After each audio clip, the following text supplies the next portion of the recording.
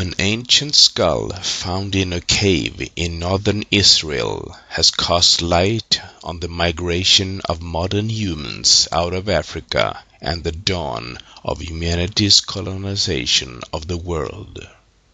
For most paleontologists that might be enough for a single fossil, but the brain case has offered much more. A likely location where the first prehistoric trust resulted in modern humans having sex with their heavy-browed Neanderthal cousins.